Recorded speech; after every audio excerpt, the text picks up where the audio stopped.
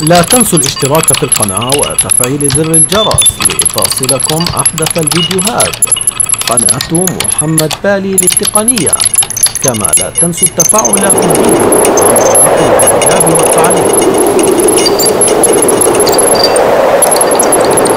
كيف حالكم؟ صارتكم بخير؟ في هذا الفيديو يا جماعة راح احكي لكم عن حل مشكلة شائعة بتواجهنا، إحنا لما بنشتري جهاز جوال وبعد فترة بنيجي بدنا نبيعه، الشخص اللي بيشتري منا هذا الجهاز بإمكانه إنه يطلع على الصور والملفات الخاصة فينا، كيف؟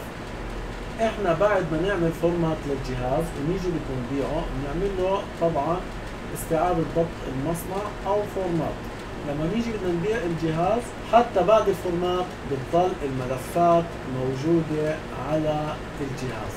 في برامج ممكن الشخص اللي بيشتري الجوال ينزلها وهاي الملفات ترجع عن طريق هاي البرامج.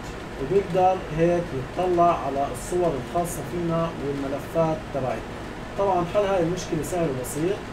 إيش بنعمل؟ بنشغل كاميرا الجوال وبنغطي الكاميرا. وهيك بيطلع عندنا فيديو بشاشة سوداء تتخزن على ذاكرة الجوال. بنخلي الكاميرا شغالة حتى تتعبى الذاكرة. طبعا هاي الطريقة ممكن تاخذ وقت ممكن تاخذ أربع ست ساعات أو ممكن ثمان ساعات حسب الذاكرة اللي عندنا. وإذا إحنا ما بنحب نستنى لفترة طويلة في طريقة أسرع وأسهل إني بشبك الجوال في جهاز الكمبيوتر. وبعديها بصير أنا أختار الملفات اللي بدي أخزنها على الجوال من جهاز الكمبيوتر. أي ملفات بتكون عامة وما بتهمني إنه أي حدا يطلع عليها فبحطها في جهاز الجوال مثلا ملفات قرآن. لو أي حدا اطلع على ملفات القرآن ما عندي أي مشكلة أو أي ملفات أنا ما بحتاجها مثلا باخذ ملفات من أي لعبة كبيرة عندي على الجهاز أو ملفات بتكون غير مهمة عندي. وبخزنها على ذاكرة الجوال بعد ما أكون أنا فرمته وأخذت الملفات المهمة من الجوال. وهيك برضه الشخص اللي بيشتري الجوال ما بيقدر يطلع على الصور والملفات الخاصة فيه. زي ما إحنا شايفين هون أنا شغلت الكاميرا بغطي الكاميرا وبتكون تسجل فيديو وهيك بكون أنا مسحت الصور والملفات اللي ضلت على الجهاز بعد الفورمات وبخزن محلها ملفات فيديو أنا صورتها بشاشة سوداء. طبعا بكون موطي الصوت عشان ما يطلع صوتي أثناء التصوير.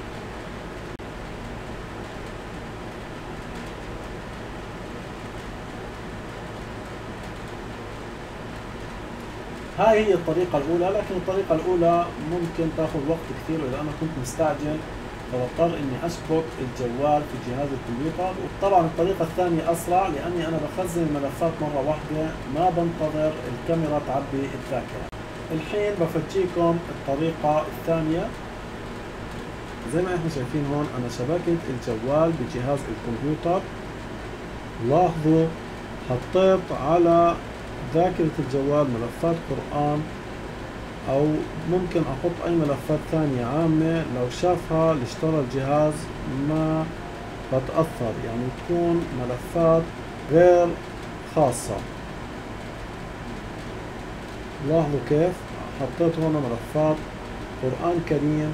لو اللي اشترى الجهاز مني نزل البرنامج اللي بيسحب الصور بعد ما أنا بكون فرمت الجهاز راح يلاقي ملفات قرآن كريم وهيك بتكون صوري وملفاتي الخاصة كلها انمسحت واللي اشترى الجهاز ما راح يقدر يشوف أي ملفات خاصة الي بتمنى يكون الفيديو عجبكم لا تنسونا من ال share وال like وال subscribe واستنوني إن شاء الله في الفيديوهات الجاي. وإذا عندكم أي أسئلة أو استفسارات حطوها في خانة التعليقات.